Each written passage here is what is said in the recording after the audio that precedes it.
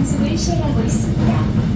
승차권이었거나 할인 또는 무임 승차권을 부정 사용한 경우 원룸과 30배 해당 운임이 부과됩니다. 적당한 승차권을 이용해 주시기 바랍니다.